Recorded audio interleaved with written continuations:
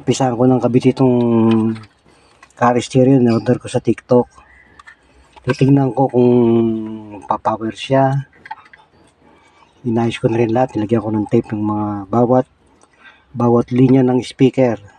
Baka sakali mag-ram, binutang ko na. Tapos, ang linya nito, ito. Ang pula niya, yung common. Ang itim, yung ground.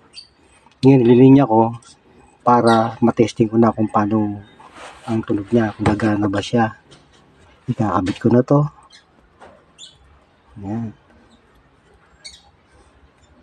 Yan, kabit ko na siya. Tapos, itong ground. I-testingin ko lang mo siya. At lalagyan natin ng tape. Lalagyan ko ng tape. Baka magkadikit po kasi siya. Hmm. Titipan ko.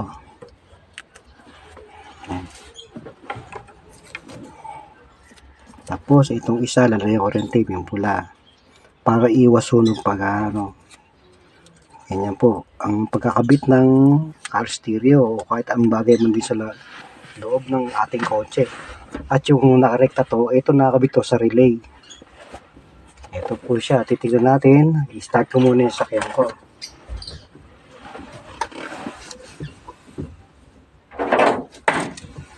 Ay, hindi pala. Mayroon power to. Naka ano na sa battery. I-on ko lang. O-on ko lang po yung ignition niya. Ito. On ko lang po siya. Itong ignition, on ko lang. Hmm. Titingnan ko ngayon kung magpa-power siya. Ito po. Tipinta natin to. Nakakabit na po siya. Ito yung linya niya. Nakakabit na. Pag nag-power to, siguradong tutunog na siya. Kung may power siya. At kung walang po, kung may problema to, hindi ito magsi hindi siya tutunog.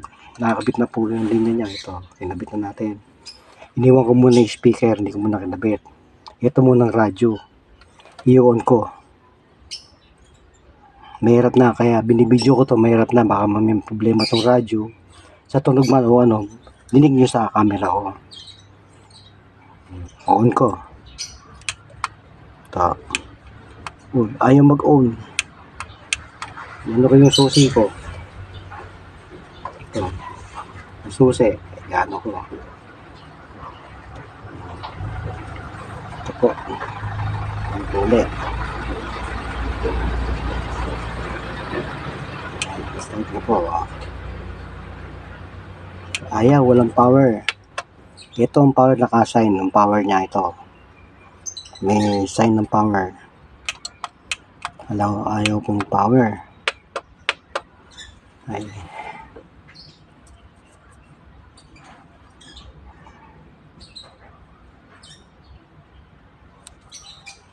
Wala na ba ibang, pi- wala na ba ibang pipindutin dito para sa power? Ito lang po ang power. Sign po ng power. Ito po.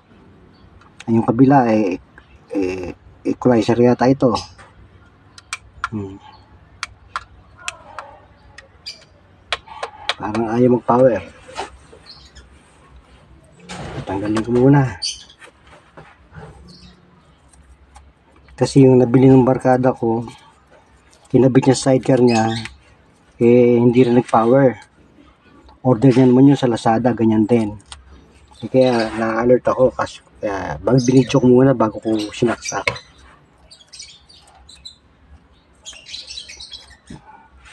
Kasi galing ako ng biyahe, wala ang magkakabit. Kaya hin- hinday pa ako itong styrofoam na to para ikabit. Ito pa yung karton niya. oh. Ito yung karton. Hmm. Nakakalis ko lang po sa karton. Sayang, di ko na video yung pagalis ng karton. Ito. Karton po. Paano ba yan? At ito yung remote. Kung nag-on sa remote, pwede siya. I-on ko sa remote. Ano yun natin uli ang susi? On ko uli ang susi. On ko lang. Uy, naglag na. Yun ko muna ang susi niya. Yan. Ang remote. Ayaw din po mag-remote on. Hmm. Kahit konting il, kahit umilaw lang sana, hindi umilaw. Parehas sa barkado ko to na in-order sa Lazada. Pero buo naman siya. Ito, hindi ko alam kung paano buksan to eh. Paano buksan ito? Hmm. On ko lang. On. Ayaw. Ano ba to?